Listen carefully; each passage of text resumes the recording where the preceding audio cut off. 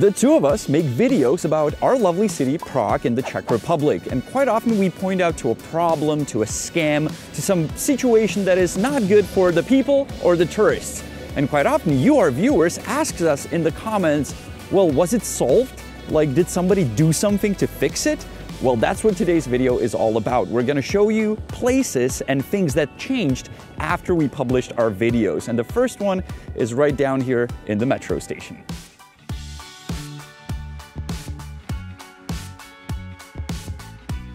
This is one of the metro stops in downtown Prague. That means a lot of tourists go here every day.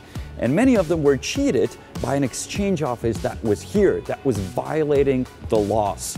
I've witnessed some nasty, nasty situations between the people working there and the tourists. Ukradla, A řekla vám, ukradla. a řekla vám, že tady nějaký kursín je? Nepočte, nepočte kvůli tomu. Nepočte, Co s tím já Nepočte. musím dělat? nepočte. Ono, oni to přestanou dělat. Kdy? Tak já musím Já vrátit vím. tvoje Já peníze já všechny. vím. Ona, ona je zlodějka, no. Ona to ví. Since we're in the Prague metro, this property is owned by the city of Prague. So we were pushing onto the city and we said, look, this place is violating the law. Why don't you terminate their contract? They said, we just can't do that because the contract is for a specific time, and the fact that they're violating a law doesn't affect the contract. My head was about to explode. But we have made so many videos about this exchange office and the chain of these exchange offices that eventually the Czech National Bank noticed what they're doing and they not only uh, gave them a massive fine, huge fine, but they also took away their license. Now, if you're curious if the company uh, paid the fine, they did not. That's why this is only a partial win. Můžu tak, kolik jste těm lidem dal za 70 euro? Tak jo, vy jste jim dal? Aha, tak jim dal 16 korun za jo? Right now, the space is empty, and the only thing here is a hanging wire that I hope is not a live wire.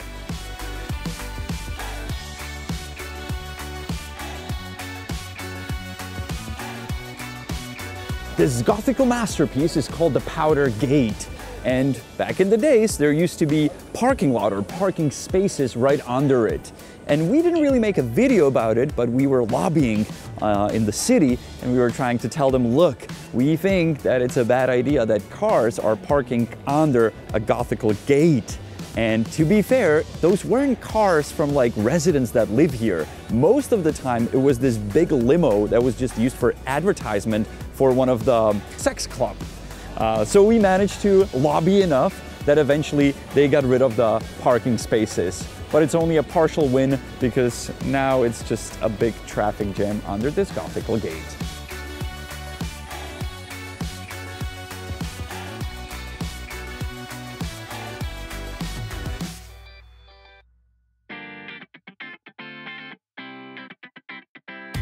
We are in front of the main train station in Prague, and there's these staircases in glass. And if you've been here in a certain time, they were not here.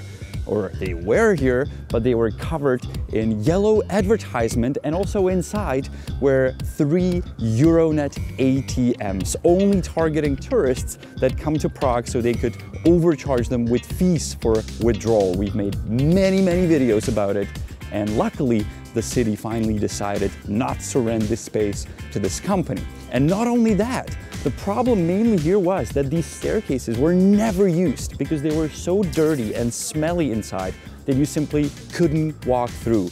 So not only they got rid of these uh, ATMs, but they also cleaned the staircases so you can actually walk through and breathe.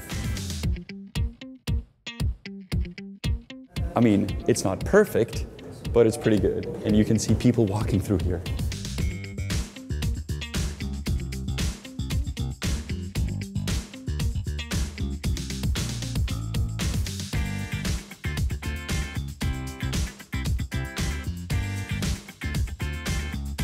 Up to this point, we only showed you places that changed from negative to positive. In this case, it changed from positive to even much better. And our frequent viewers already recognize the location and the place, and that is the uh, St. Havel Church behind me, where after we published a video asking for help with buying a new bell, changed because it now has a new bell.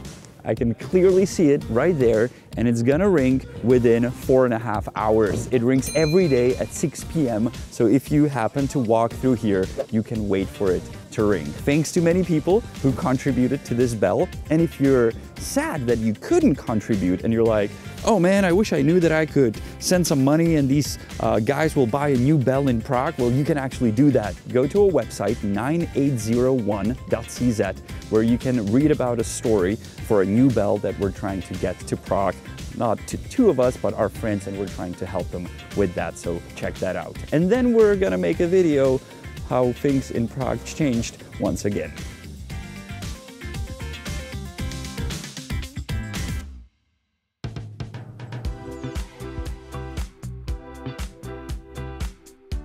Another change that happened after we published our video is that a garden restaurant disappeared from this street.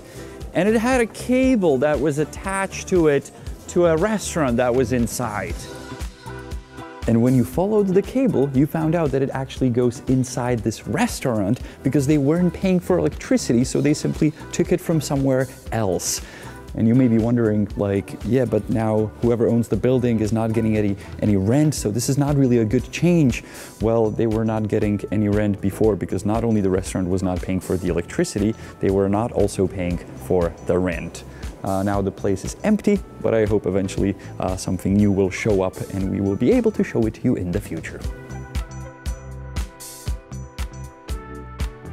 Another very positive and visible change after we published a video was that this spot is missing a taxi car. This is a pedestrian zone, taxis cannot enter here, but this was a parking spot for these crooked cabbie drivers that would overcharge tourists. And we made an entire series about it with my buddy Marcus, and um, we've showed them, and after we published it, they simply avoided coming here to this spot, which made us very happy. Up until a couple days ago, when I was walking through the street here, and the series we filmed seven years ago, so many people already forgot about it, and some driver actually parked here and was waiting to pick up some tourists, and I was approaching him, and when he saw me, he quickly stepped on the gas and left, probably thinking that he does not want to be a star of our videos. Brave move, buddy.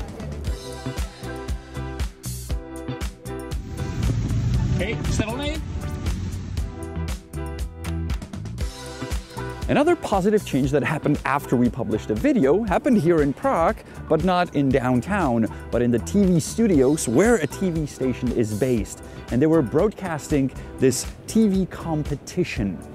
It caused a big buzz in the Czech media and among many people who were responsible for the TV broadcast. And eventually they got it off the air. So that's a very positive change. Uh, and don't worry, we still are keeping our eyes on the TV channel. If they eventually will come back with this kind of game or different one, we will be there watching it with our remotes sitting by the TV to make sure that nobody gets tricked by them again.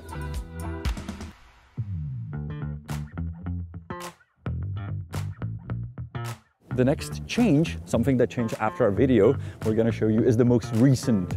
It changed within last couple days. Uh, and also if you have any idea, if you have no idea what I'm talking about when I say this video and that video, you can obviously check out the Honest Guide channel where you can find all the videos that I'm referring to.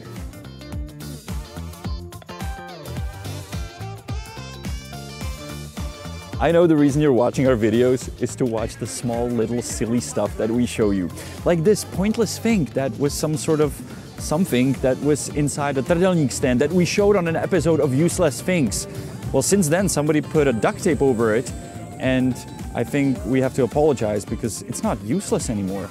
This is a piece of art. I wonder what it's gonna look like after we publish this video. I'm very much looking forward to it. Can somebody make like a little thing saying a piece of art, you know, with a year and the artist?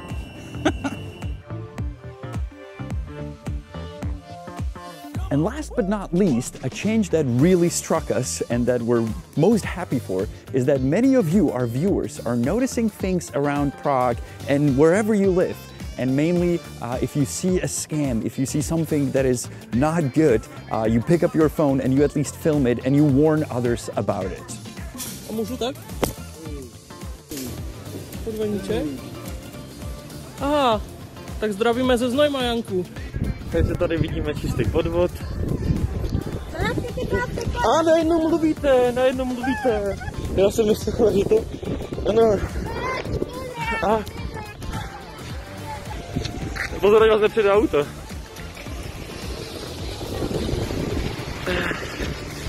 Takže Janku, podvodnice dorazili do Valašska Mestýčí. Dokonce tady kameny.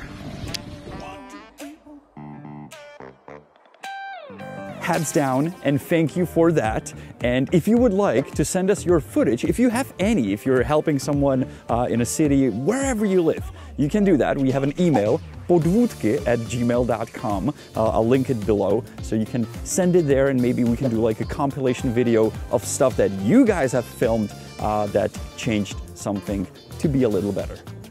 This video was made by Honza and Janek, the honest guys. Thank you so much for watching. This is the most beautiful city in the world, Prague. Uh, so please come here if you're unready, if you want to get more ready. We have dozens, maybe hundreds of videos that will help you on your travels. Uh, if you subscribe to the channel, it will obviously make us happy because then we can be like, yo, we got like million subscribers, whatever.